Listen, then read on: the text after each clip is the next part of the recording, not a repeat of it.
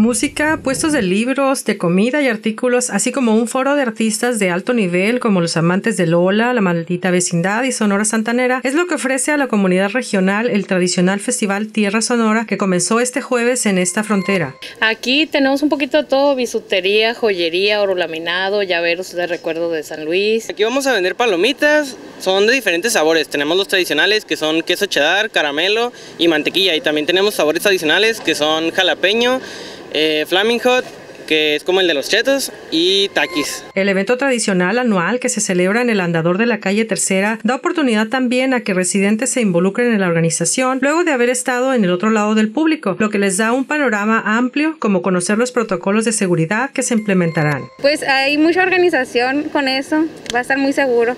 Hay chicos con playera azul que están encargados de toda esa la seguridad de, de anti-COVID y eso pues los invitamos a todos a que vengan y sean parte de este festival. Tenemos mucha seguridad, tenemos el escuadrón anti-COVID que va a estar haciendo rondines para asegurarse que se estén cumpliendo todas las medidas de seguridad. Y estamos ayudando, apoyando a la gente en lo que necesite en cada puesto y pues encargada también para entregar cubrebocas y todo de higiene y todo eso. El evento que comenzó por gestiones de administraciones pasadas con recursos a nivel federal bajados a la Dirección de Cultura Municipal y que ahora es manejado por Turismo, terminará este domingo con un concierto a cargo de la maldita vecindad y Sonora Santanera, lo que se espera tenga un mayor atractivo para los visitantes. Katy Navarro, Mega Noticias.